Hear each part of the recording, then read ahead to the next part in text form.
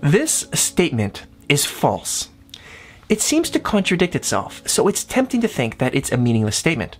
But many philosophers believe that it's a serious problem whose solution is required if we are to understand the nature of truth.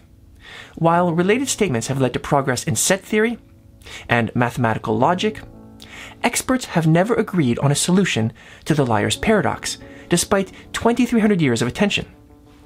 We can argue that the statement is meaningless because it has no translation into a formal language, or that statements cannot contain their own truth predicate, or that the statement is ambiguous, or many other things. It's a deep topic, and a short YouTube video certainly cannot provide you with the answers. But perhaps it can help you ask the right questions. In this video, I want to provide a glimpse of our ideas related to the following four truth values that we might assign to the liar statement true, false, neither true nor false, and true and false. I also want to share some original ideas on a fifth possibility true or false. I'll put links in the description if you want to fast forward to a particular case. When contemplating liar statements, I find it helpful to tabulate scenarios using actual potential tables. They compare what is with what can be. For example, if this liar statement is actually true, then given its claim, it can only be false. And if it's actually false, then given its claim, it can only be true. There is a disagreement between what is and what can be. It's a contradiction. And in classical logic, once a contradiction has been asserted, any statement, including its negation, can be proven true, trivializing the concept of truth and falsity. One way to avoid the contradiction is to reject the law of the excluded middle. We're assuming that every statement is either true or false. But what if the set of statements of which are true and the set of statements of which are false do not jointly exhaust the domain of statements within a language? What if there are statements which are neither true nor false? A logic where the liar statement is neither true nor false is paracomplete.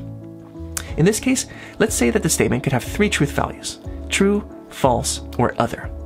If it's actually true, then it can only be false. If it's actually false, then it can be true or it can be other. And if it's other, then it can be other.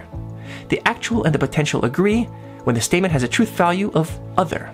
So there is no contradiction. But paracomplete logics may be susceptible to a different liar statement. This statement is not true. If it's actually true, then it can be false or it can be other.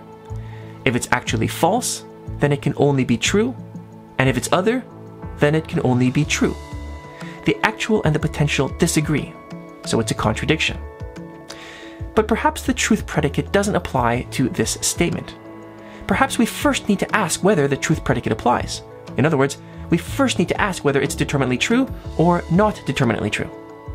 If it's determinately true, then it can only be not determinately true. But if it's not determinately true, then it can only be not determinately true. The actual and potential agree when the statement is not determinately true. So there is no contradiction. But the liar has his revenge by coming up with a different statement to which this logic is susceptible. This statement is not determinately true. If it's determinately true, then it can only be not determinately true. If it's not determinately true, then it can only be determinately true. The actual and the potential disagree, so it's a contradiction. And it appears that for every attempt we make to isolate the other statements, the liar has his revenge and produces a statement to show that the edge of truth is vague and filled with contradiction. So perhaps we need to instead embrace the contradiction and argue that the liar statement is both true and false. This approach requires alterations to the classical rules of semantics to allow for a contradiction while not allowing everything to follow. Such a logic is paraconsistent. But some critics argue that this logic is susceptible to a different liar statement. This statement is only false. If it's actually true, then it can only be false. If it's actually false, then it can only be true. And if it's true and false, then it can be false and true, which is equivalent to true and false. From this perspective, the actual and the potential agree. But there is another perspective.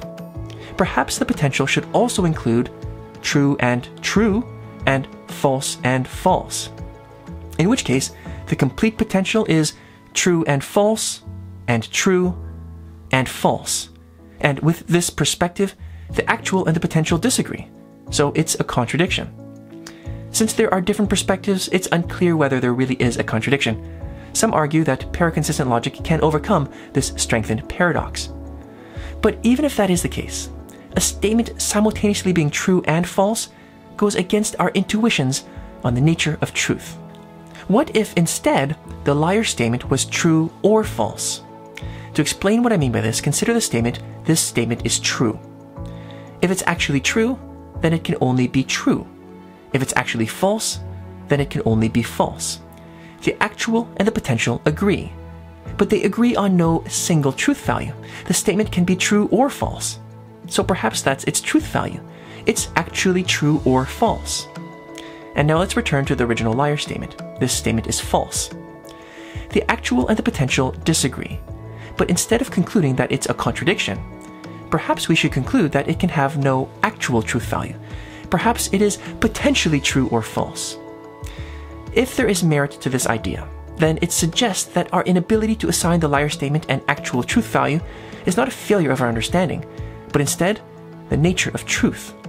In this case, the liar cannot have his revenge because he is not identifying a flaw, but a feature the necessity of potential. Does this idea suggest that truth is incomplete and that there are limits to what can actually be known? Are there other statements which have potential truth values, and if so, can their potential truth value ever be made actual? Is this a violation of the law of identity? And if so, what are the consequences? What is needed to turn this from an idea to an actual solution? Let me know your thoughts in the comments, and thanks for watching.